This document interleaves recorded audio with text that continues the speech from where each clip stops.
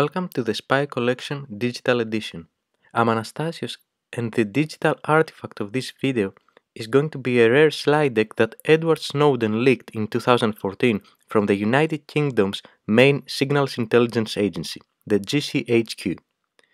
This presentation has no dates on it, but based on the content we can assess that it was from 2012 and it aligns with a couple of facts from that time. For example, in 2011 to 2012 there was a major increase in social media use globally and among the countries that were starting to use them, it was also countries like Syria and Libya that had their first signs of armed conflict. Apart from not having any dates, this slide deck also doesn't have any meeting notes. For this reason, I will be making a lot of assumptions based on the slides on what the content might be about. If you think that I missed something or I was going to the wrong direction, please let me know in the comments. GCHQ had a group responsible for researching new methods for intelligence gathering on threats to the UK government. That group was known as JTRIG, which stands for Joint Threat Research Intelligence Group. As its name implies, this group was a joint effort from various divisions and departments, and one of them was GCHQ's HSOC division. HSOC stands for Human Science Operations Cell, and its mission was to utilize human sciences for intelligence purposes. This is important to understand since the presentation we're seeing here was performed by the head of human science of HSOC in JTRIG. This GCHQ employee was presenting a new training program developed jointly by the JTRIG and HSOC. Just like in all of the previous videos, I have reconstructed the slide deck so that it's easier to navigate, so let's go there. And this is the reconstructed slide deck for this presentation. I tried to make it as identical as possible including any typos or mistakes that were in the original slide deck. Its title is The Art of Deception, Training for a New Generation of Online Covert Operations. And in terms of classifications, we see that according to the UK government it is classified as secret, which stands for information whose side effects may be life-threatening, disruptive to public order, or detrimental to diplomatic relations with friendly nations. The second classification qualifier that we have is the SI, or Signals Intelligence, and it tells us that the information of this presentation is related to signals intelligence. Finally, the last qualifier is the release to USA and the Five Eyes. Five Eyes is an intelligence sharing agreement between five nation states the United States, United Kingdom, Australia, Canada, and New Zealand. And this qualifier explains that this slide deck was available for release to those five nations. In the next slide, we have the HSOC. And uh, as I mentioned earlier, that was a division of GCHQ and with the available information that we have today, we know that HSOC was employing human scientists such as psychologists, anthropologists, etc., and they were trying to exploit their knowledge and skills for more effective methods of intelligence activities on the signals intelligence side. And this presentation is a great example of that. Although this presentation was done by the head of HSOC, it was done as part of the JTRIG, the Joint Threat Research Intelligence Group, and it is divided in three strands the online human intelligence, the strategic influence operations, and the disruption and computer network attack operations. If we dive more into HSOC and what they are doing, they have this very nice overview that goes through the different disciplines that HSOC provides to the GCHQ. For example, here we see that HSOC was mentioning that they have experts in anthropology, which is the science of studying what makes us humans. Also, sociology, the study of social life, psychology, or how people behave, think, and feel, economics, which is the science concerned with the production, distribution, and consumption of goods and services, biology, or how living organisms work, political science, which of course studying everything that comprises politics, history, which is self-explanatory, and all of those combined are areas of expertise of HSOC, and what they allow is understanding of the culture, the ethnography of the target populations, they allow deception, or as some people might perceive it, magic, influencing the target populations. And of course, psychology can provide insights into the personality, help build trust, and elicit information. Those sciences also allow you to understand the beliefs and religions. Biology can give insights from the perspective of neuroscience and evolutionary biology. The political science can show what are the global trends. Historically, what were the key leaders that have to be engaged to achieve a goal? And if you combine all of that, especially in the sociology space, you can see what are the social networks, how people interact with each other, and that can allow an expert in intelligence to achieve compliance and obedience to that audience. To take the most out all of that, HSOC had developed a framework that they referred to as the S4. S4 stands for the science that was just explained in the previous slide, the signals intelligence, which is the core mission of GCHQ, the skills that all of those experts have, then the systems that can help to achieve those goals. And with that S4, those three strands were developed for this new training program in GCHQ. As this slide says, they wanted to build cyber magicians, people that can deceive and achieve influence operations through cyberspace. And with that, let's start with the actual accreditation program. The OCA, Online Covert Action Accreditation. This is the core purpose of this slide deck, presenting this training program, what it entails and what it looks like. To better understand this online covert action accreditation program, the slide deck creates this matrix that starts with the ACNO T-Skill strands, I'm not aware what ACNO stands for, but I assume that it stands for Advanced Cyber Network Operations Key Skill Strands. As you should understand by that point, the key strands are the online human intelligence, the influence and information operations, and disruption and computer network attack operations. Starting from the human intelligence, there are a few different ways that can be achieved in the cyberspace. It can be done on an individual level, on a group level, or on a global level. In a similar manner, in the influence and information operations, you have a lot of different disciplines that have to be mastered, namely the psychology of the target, the deception plan, the influencing, the performance, and media. And finally, for the disruption and CNA, it is the professionalism, the elegance, the creativity of the operators, and the intuition.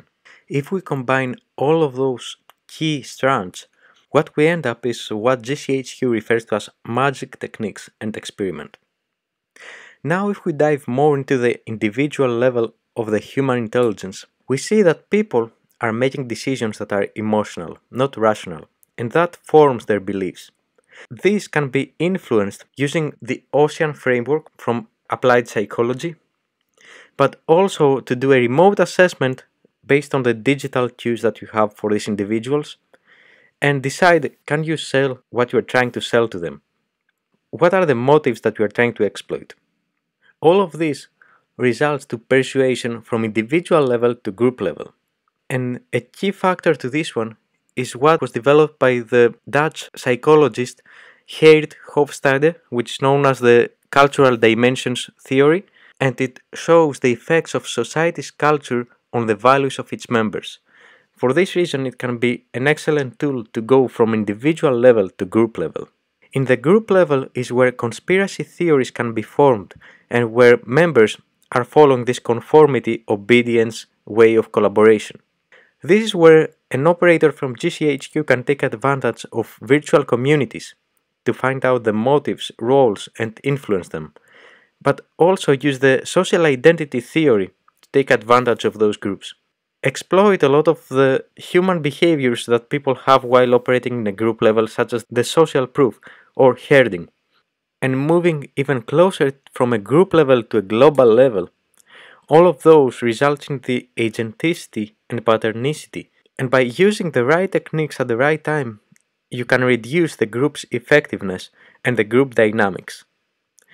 And moving to the global level of online human intelligence, you have the social networks, how different groups interact with each others. And that can be influenced by constructing a new system or understanding the financial ecosystems of media and taking advantage of that. Now, moving to the influence and information operations. In the online human, we ended up with a lot of different frameworks for the individual level, but how to apply those for influencing information operations. And the key word here is trust. If you understand the group's psychology, then the only thing that stands between the psychology and deception is trust. This can be done through persuasive technology. What does this mean in practical means is implementation of systems such as the 10 principles of scams. You can pick any of those scams and try to implement them in this model. And to give a better understanding of what this means, here are some common biases or logic fallacies that all of the human beings have. For example, we have the hindsight bias, or this notion of, oh, I knew it all along, which goes nicely with a confirmation bias. That means that you are after information that confirm your beliefs.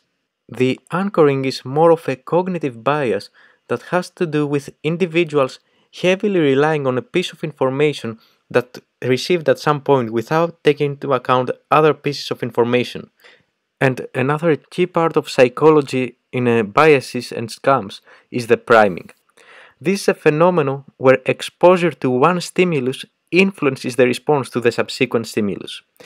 And as you can imagine, there are tons and tons of more biases, logical fallacies, cognitive biases, and other psychological behaviors that you can take advantage to influence a target without them realizing it.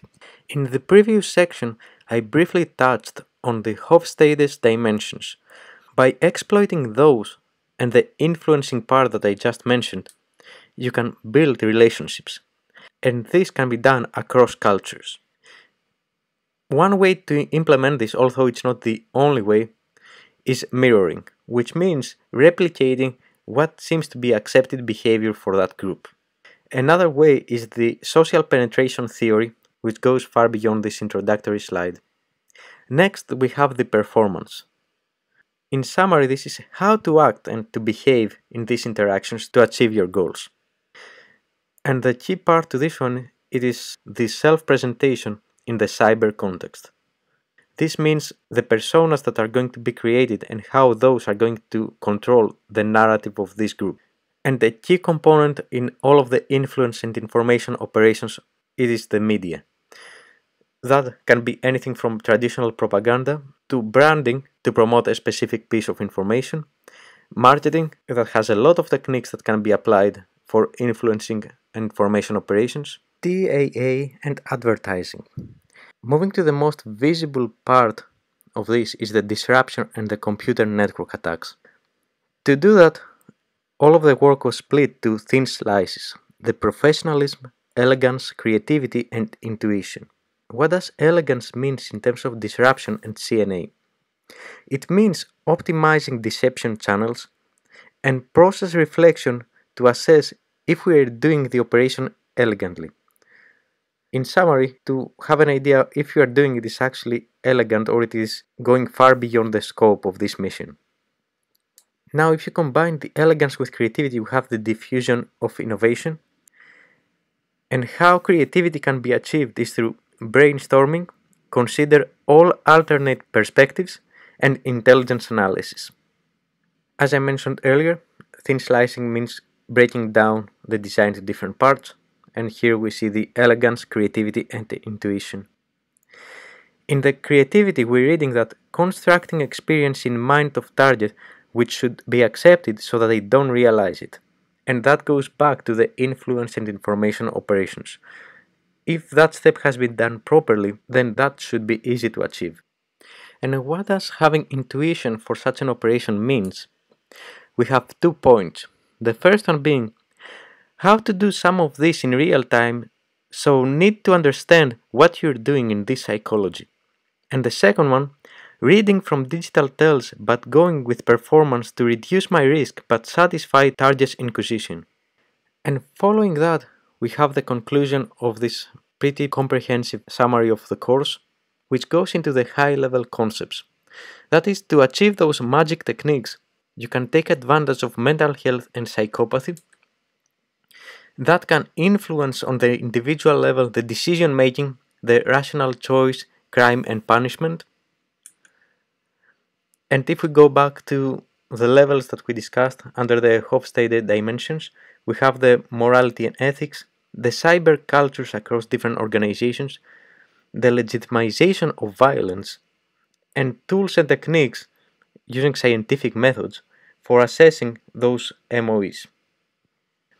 A key part of all of that is the alias management and legend building, what is uh, typically known as uh, backstopping or cover stories in traditional HUMINT. But uh, it is not included in this training since it is a concept that it should be well known to most intelligence uh, professionals. Going to the influence operations, influence and information operations, the key part is the strategy. What is this operation trying to achieve? And this strategy is going to drive the planning and the campaign planning, which is why are we doing what we are doing? Finally, on the disruption and CNA, a key component is the insiders. Those insiders can be used to create destructive organizational psychology, and with that, you can have a planned intervention.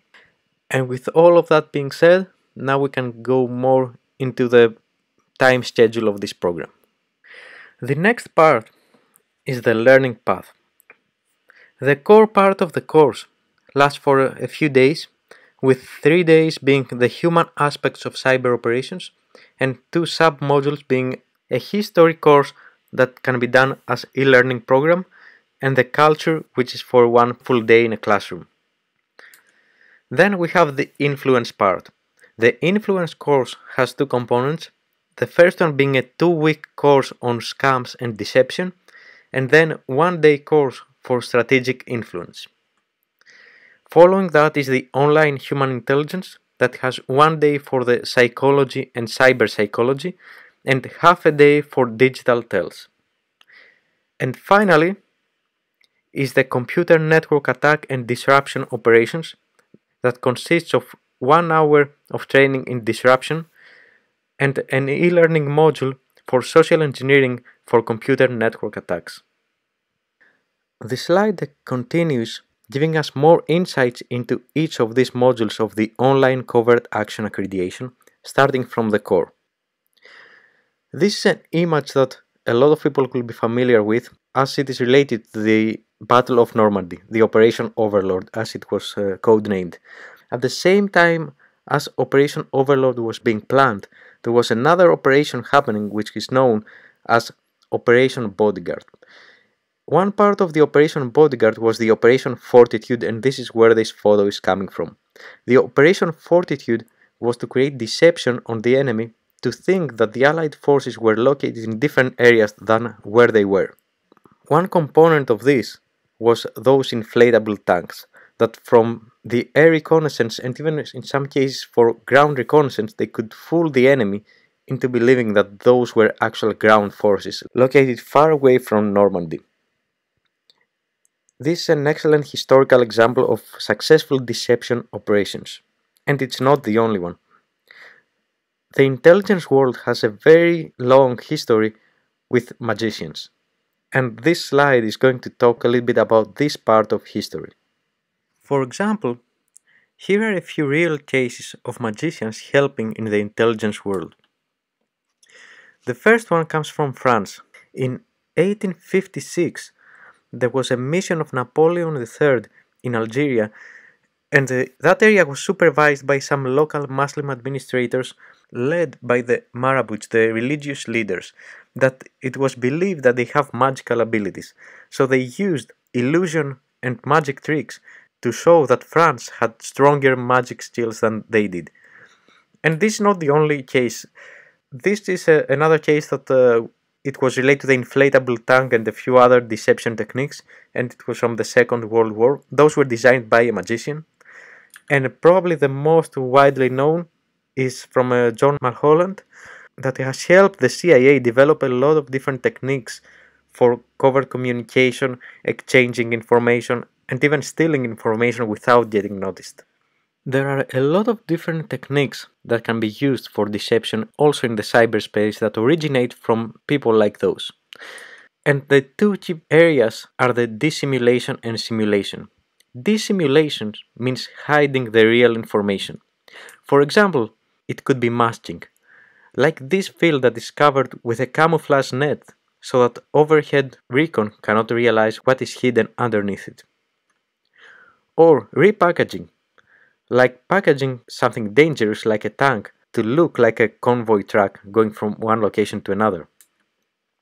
Or dazzling, making something really hard to comprehend so that when it's at distance like a ship, it cannot be easily identified. But this is hiding the real information. The other side is the simulation, which is showing the false information. Example of that we can find in nature, like insects that are mimicking different flowers and leaves to avoid being seen, or inventing, like for example, showing fake troops and fake military equipment in locations where you want your enemies to be focusing on. And again, using the nature is a decoying, like a lot of reptiles that are intentionally cutting off part of their tails which is still moving so that the predator can focus on that moving part and they can escape. The building blocks for deceptions are explained in this very simple diagram. It all starts from people trying to make sense of what they are experiencing. This is the effect they have, but also the expectancies, which is going to draw their attention, perception, and eventually their behavior. In terms of the cyberspace, remember in the introduction I mentioned that the social media were really growing at that time, the time of this presentation. And this is uh, reflected in this slide deck as well. So we can see that we have the personal, community and global communication channels. And then on the y-axis, we have the time, which is now, soon and forever. And it starts with some areas that uh, are having global impact, like news media, and then moving to some that have very personal impact, like the phone communications, and email that is expected to be there forever and covering the whole spectrum from personal to global communications. There are some communication channels that have more of a community interest and global interest, and that is blogging, LinkedIn, web pages, and so on. And what was happening at that point, so we see that was marked in the soon area, it is social media such as Facebook and Twitter that go from personal to global with Twitter being more on the global side and Facebook more on the personal side. And purely on the personal side and expecting to last for a long time, it's considered the SMS and the instant messaging that goes from personal to community, such as uh, IRC that was popular at that time, or other messaging platforms that are more popular nowadays. In order to achieve deception, a key component is the attention management. Something doesn't have to be perfectly hidden, but it has to be hidden for long enough that it will not draw any attention. And those are two examples over here, with a building on the right side and an insect on the left side that do this exactly right. It is not impossible to detect them, but it is hard enough so that it will not draw any attention. But why is the attention management so important? This is demonstrated very nicely with this painting. This is the Conjurer painted by Hieronymus Bosch. What we see here is a very well-known gambling game known as the shell game that was invented probably in ancient Greece but it is so old that no one really knows when it was invented. It's a very popular game that most people know where you have some cups and you hide an item, you move them around and the and the gamblers have to guess where the item is going to be. But this painting shows exactly why the attention management is so important. Although the game depicts the shell game, there is something else that you might not have noticed. On the left side, we have a pickpocket who is working with the conjurer. The pickpocket is robbing one of the spectators who is bending over. And this is exactly what the attention management is in the cyberspace too. Another example of attention management that has to do with human psychology is this one. the well-known rabbit-duck illusion, that is both a duck and a rabbit at the same time, and this illusion, although it is quite old, it's from 1892, it is uh, bringing a lot of interesting discussions about how people perceive reality based on their sociological, biological, and psychological factors, which is something that can be exploited as well in the cyberspace for the same reasons. All of that can be summarized to one word expectations. We look where we expect something interesting to happen. Like in this case, most of the people wouldn't have noticed that all of the ladders are wrong. They, they don't make any sense the way they are set up. But we are biased to see, hear, feel, smell, taste what we strongly expect to see, hear, feel, smell, and taste. And this is what attention management is all about controlling these expectations. How this could be achieved is through what is known as the gambit of deception. This is a matrix of a lot of different areas that can be used to deceive someone. And it all starts with the attention. By controlling the attention, you can do other things in parallel that the spectators will not notice. For example, a big move can cover a little move. The target is looking where you are drawing their attention to, which means it leaves you time to do other things in the other areas. And the attention drops at the perceived end, so it is very key to know when you are going to execute your deception. Finally, repetition reduces vigilance. The next part is the perception. How can you mask, mimic something while it is something else? A few examples were shown earlier. The other was repackaging, which is modifying something old to look like something different. The dazzling decoying, that you are blurring the cues to create an alternate cue. Make the cue dynamic and stimulate multiple sensors so that it is very hard for the spectator to focus on all of them at the same time. Next we have the sense making. How can someone make sense of what they see? And here is where a lot of the human sciences come into play, since you can exploit prior beliefs, present story fragments, since people really like to hear stories and connect them with their past experiences. Repetition creates expectancies, that should be self-explanatory. Or the Haversack ruse, which originates from the October 1917 case from uh, World War I, where a British official looked like he forgot a haversack, like a, a backpack, with battle plans, but all of that was coordinated in order to lead the enemy where they wanted to. And of course, swap the real for the false and vice versa. And what is the effect of all of that? You try to create cognitive stress so that it is hard to make sense of all of this information and get to the end result that you want. Create psychological stress for the same reason. Create affective stress, or as they mention it here, Cialdini plus two, referring of course to Robert Beno Cialdini, who is a professor of psychology and has developed the six principles of persuasion. And exploit shared effect. What all of that is going to result to is a change in behavior. It can simulate the action, but it can also simulate the outcome. A time shift of perceived behavior. Divorce the behavior from the outcome. Or channel the behavior. Examples of deception you can find in a lot of places, but these are the gambits of deception. The next slide, for example, shows us a very interesting way that you can blend in and it was actually happening. A lot of males fighters were blending in with women by just using the same outfit as uh, they were. And that covered all of the first section, the core part, and now we're moving to the second part, which is the influence and information operations. And just to be clear, this is not the full training, Again, it was a slide deck that was presenting the overview of what uh, GCHQ operators were to receive if they would enroll to this program. For influence and information operations, the most important part is the principles for influence.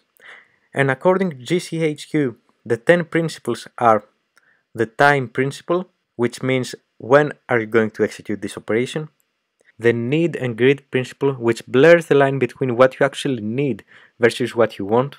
the deception principle that was described in the previous section, the dishonesty principle, which is around how to defraud someone, the social compliance and authority principle, which is self explanatory, the herd principle, that people behave differently when they operate in groups, the consistency principle, which goes back to if something is very consistent across different areas and different sources of information, it is likely to be believed as true.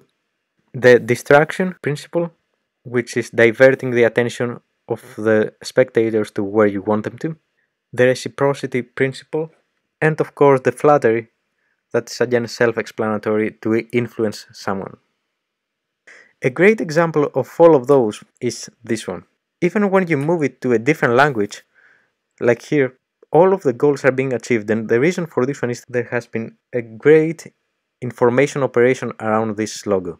And the same happens with a lot of brands that they have reached to a level that they combine all of this need and greed, all of this distraction that even when fully abstracted, it can link back to human behavior and human mind to specific items. In this example, uh, Coca-Cola. A very nice example of this one is also that comic over here from 2007 that uh, it is a curve as you can see about new product adoption in uh, the far left side we have the innovators and early adapters that they are spending some time with this product but the moment the cash machine kicks in and if you think about it for government agencies like GCHQ this is an area they can definitely influence then you can start sharing this brand across different groups this results to this uh, funny statement that uh, we see on the top like I think I can, I think I can. And once these groups start sharing this information uh, among each other and this product becomes more popular, you can see that uh, we have, for example, in the large majority saying, I found it at Sam's Club. And uh, of course, at the end, this product is going to deteriorate if this is not maintained properly, and a new product will be required to be out in the market. In all of that, the most important piece of information is this one that people make decisions as part of groups. People make decisions for emotional reasons, not rational ones. This is a great point that can be exploited by intelligence agencies for influence and information operations, and we see a process for all of that in the next slides. And here we see a very interesting circle which goes to seeding the information we want to share converting that and sharing it again and that cycle goes on forever and it is uh, about passion density and empowerment those components result in uh, some pretty powerful brands like coca-cola that was mentioned earlier or a different example that is uh, shared in the next slide which is uh, about this one do you love your brand and i assume here they are talking about uh, political parties but uh, it is the same behavior. It doesn't matter if it's a political party or it's a brand or it is an influence operation. The process is exactly the same for all of them. And another example of that, I, I really, I'm really not sure what uh, what was going on. Probably a story around this one. And here is a very interesting influence operation that take advantage of a lot of the areas that we talked previously about uh, people's beliefs, about the need versus greed, that people really wanted to to know that there is something else out there, that governments are more powerful than they appear to be, and and so on. And there are lots of these uh, use cases that uh, you can research and find out how those videos were created. Most of them were done in a very simple means. They are fake videos, but still a lot of people believed in them. They managed to influence large parts of the population, and the key part of that was also the group mentality that they were shared in certain groups that they were repeating this piece of information. Again, a few more of those. And this slide concludes that uh, yes, in the past we had the wheels that they turned up to new kinds of wheels, and then we have the cameras, and now they are in mobile phones, but all of the principles are still the same. When we're talking about influence operations and information operations, nothing has really changed since it is more about human behavior. The media to deliver them will change, but the process itself would be almost identical. And that leads us to the next round of the course, the online human intelligence. Now moving to HUMINT, it shouldn't be a surprise that the first topic that is being touched upon is the ocean. Ocean is the big five personality traits, as it's known, and it's a model that was uh, developed in the 80s for uh, applied psychology. Ocean is, of course, an acronym. It refers to the five personality traits that differentiate people the most. The first one is the openness and talks about the openness to new experiences, for example, how curious someone is versus how cautious he is, or the consciousness, which is uh, how efficient organized someone is versus how careless when they making any decisions. The extraversion, which is of course being outgoing or being reserved in uh, your behaviors. The agreeableness, which is uh, being friendly or being very critical, being very rational or being very compassionate. And finally, the neuroticism, which talks about uh, how sensitive or nervous someone is versus how confident they are. All of those are uh, key components for any human intelligence operation since they are going to create the profile of this individual and what are the traits that can be exploited to recruit them or influence them. A circle to achieve this is uh, this one. How someone likes what they hear and what they get as external information how certain they are about it and the disclosure of this information. And this is a continuous cycle and that builds stronger relationship with uh, the target. There are a lot of ways to achieve this, but here are some examples from this presentation. The first one is mirroring. People copy each other while in social interaction with them. For example, the body language, the language cues, the expressions, eye movements, and emotions. This creates an association between those individuals that they feel that they agree on what they are saying. Another one is the accommodation, which is the adjustment of speech, patterns, and language towards another person in communication. For example, people in conversation tend to converge, depends on the empathy and other personality traits. Possibility of over accommodation end up looking condescending. This means accommodation, like everything else, a nice technique, but has to be used carefully. And finally, mimicry, talking about the adoption of specific social traits by the communicator from the other participant, which goes back to have a very good understanding of the social and psychological profile of the target before getting to that level. And since we're talking about the cyberspace, a key question here is can you game this? Can you make this so that the target doesn't even realize that this is happening? I'm certain a lot of people are aware of this one. It is known as the Maslow's hierarchy of needs and it was developed in 1943 in a paper titled A Theory of Human Motivation.